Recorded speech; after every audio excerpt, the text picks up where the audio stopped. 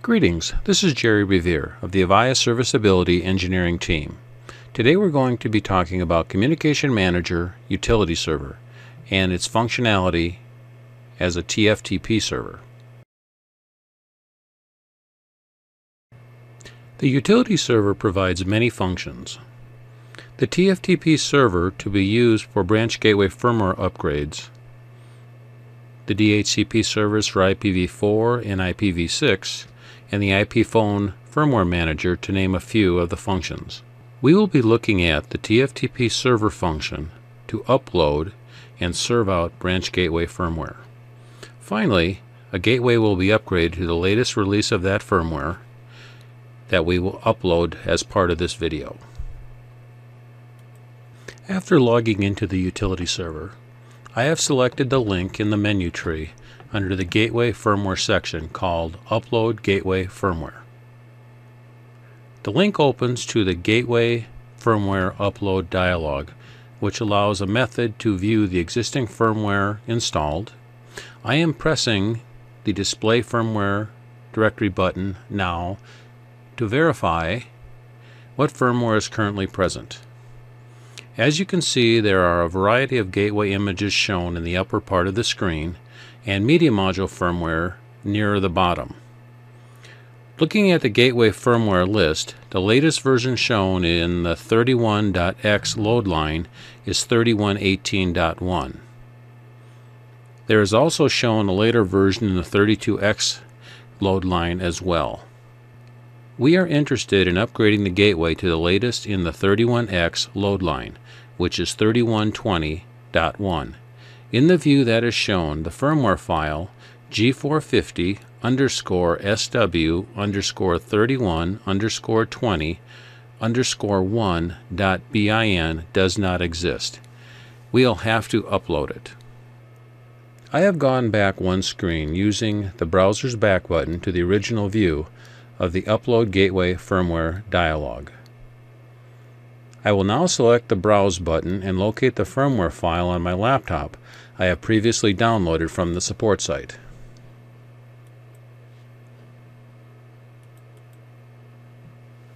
I have selected the file and I am returned to the Gateway dialog where I am now able to press the button labeled Upload, Gateway Firmware and Activate.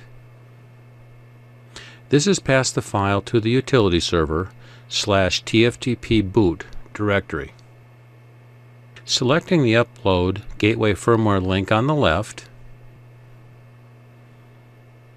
and going back into the firmware directory by pushing the Display Firmware Directory button, you can see that the file 31 underscore 20 underscore 1 dot bin has been uploaded and is now displayed.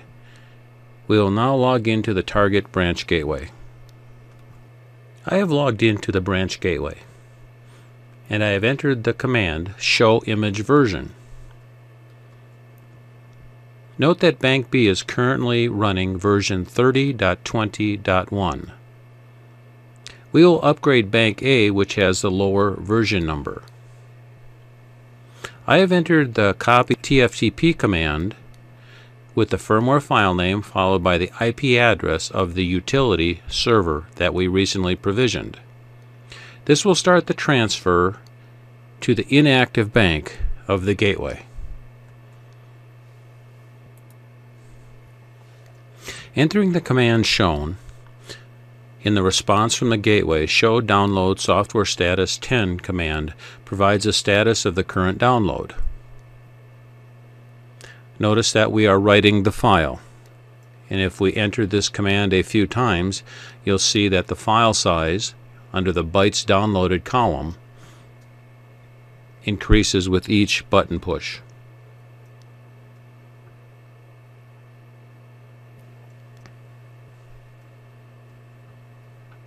As you can see now, the running state of the TFTP server is idle, meaning that the complete file has been transferred to the branch gateway.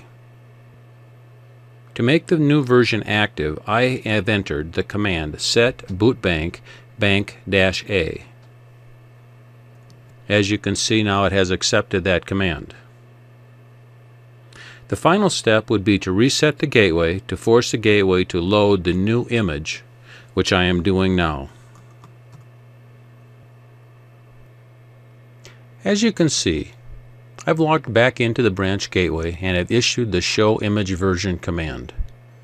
Note that bank A is the current bank that is running and it's running with firmware version 31.20.1. We have illustrated that the utility server can be the means to deliver firmware to the branch gateways as one of its many functions.